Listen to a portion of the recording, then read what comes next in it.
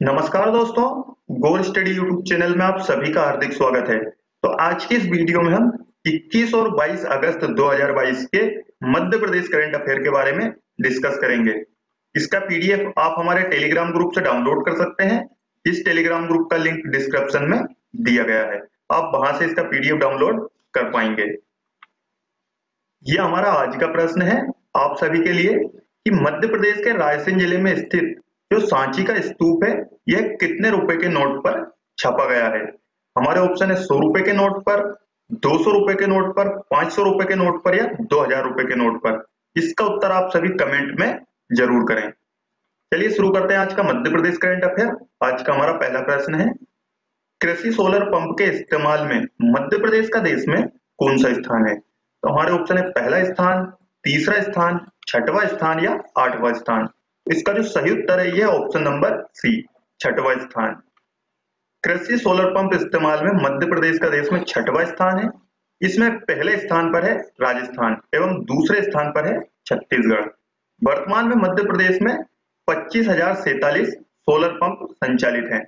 और मध्य प्रदेश सरकार ने अगले पाँच साल में दो लाख दो लाख सोलर पंप लगाने का लक्ष्य रखा है। और इसी साल के लिए कितना लक्ष्य है?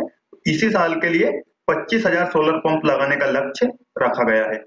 अच्छा अभी हाल ही में ही विश्व की सबसे बड़ी फ्लोटिंग सौर परियोजना, ओमकारेश्वर परियोजना के प्रथम चरण का अनुबंध हस्ताक्षर भी किया गया है। यह परियोजना मध्य प्रदेश के खंडवा ज़िले में स्थित है। अगला प्रश्न है, मध्य प्रदेश का कौन सा जिला देश का पहला कार्यात्मक रूप से साक्षर जिला बन गया है? हमारे ऑप्शन है मंडला, मुरैना, भिंड या गुना। इसका जो सही उत्तर है यह ऑप्शन नंबर ए मंडला जिला। मध्य प्रदेश का आदिवासी बहुल मंडला जिला देश का पहला कार्यात्मक रूप से साक्षर जिला बन गया है। और एक व्यक्ति को कार्यात्मक रूप से साक्षर जब कहा जा सकता है? जब वह अपना नाम लिखने, गिनने, हिंदी पढ़ने और लिखने में सक्षम हो। जनगणना 2011 के अनुसार मध्य प्रदेश का सर्वाधिक साक्षर जिला जबलपुर है। और न्यूनतम साक्षर जिला यह है अलीराजपुर। और 2011 की जनगणना के अनुसार ही सर्वाधिक महिला साक्षरता वाला जिला है भोपाल।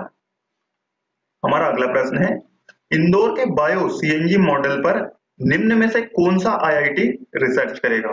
तो हमारे ऑप्शन है IIT Delhi, IIT Madras, IIT Kharagpur या आईआईटी मुंबई। इसका जो सही उत्तर है, यह option number A, IIT Delhi. IIT Delhi Indore के जो बायो सीएनजी मॉडल है, इस पर रिसर्च करेगा।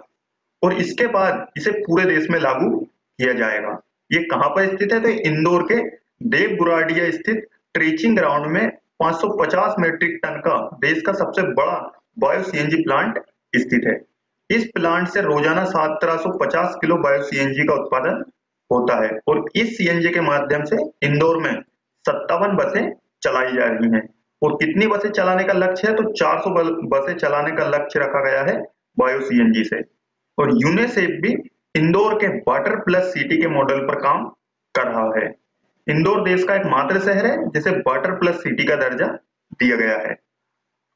अगला प्रश्न है, मध्य प्रदेश में सड़क सुरक्षा सप्ताह मनाया जाएगा। तो हमारे ऑप्शन है 22 से 28 अगस्त तक 1 से 7 सितंबर तक 7 से 15 सितंबर तक, या इनमें से कोई नहीं। जो सही उत्तर है, ये ऑप्शन नंबर ए है 22 से लेकर 28 अगस्त 2022 तक।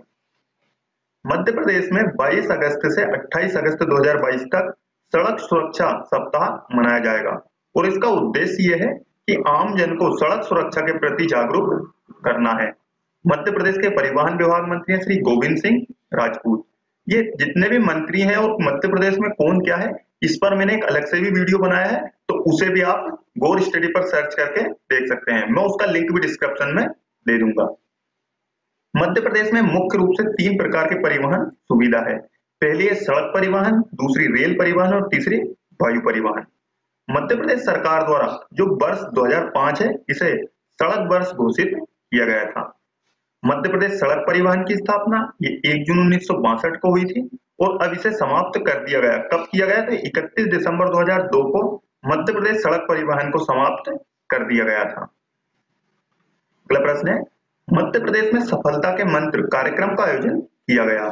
तो हमारे ऑप्शन है 19 अगस्त 20 अगस्त 21 अगस्त या 22 अगस्त। इसका सही उत्तर है ऑप्शन नंबर बी 20 अगस्त 2022 को। मध्य प्रदेश के राजधानी में भोपाल स्थित, राजधानी भोपाल स्थित रविंद्र भवन में 20 अगस्त को सफलता के मंत्र कार्यक्रम का आयोजन किया गया। और इस कार्यक्रम में जो यूपीएससी 2021 में चयनित हुए थे, उनको सम्मानित किया गया है।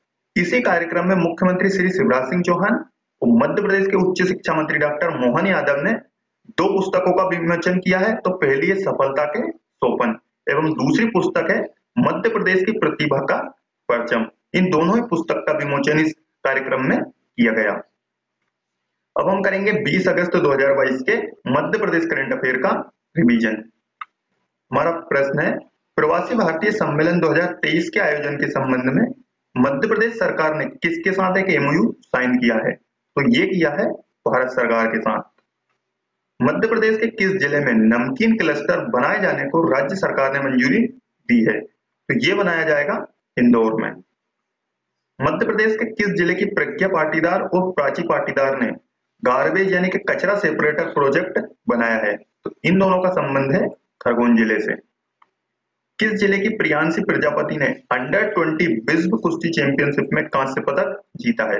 इनका संबंध है भोपाल ज़िले से। हाल ही में किसने नदियों पर आधारित काव्य संग्रह नदी में तुम्हें रुकने नहीं दूँगा का विमोचन किया है। तो ये किया है मध्य प्रदेश की पर्यटन मंत्री सुश्री उषा ठाकुर ने। यह हमारे कल की वीडियो के प्रश्न का उत्तर है कि भगवान श्री कृष्ण के गुरु सांदीपनी का आश्रम मध्य प्रदेश में कहाँ स्थित है? इसका जो सही उत्तर है, यह है ऑप्शन नंबर बी उज्जैन में स्थित है।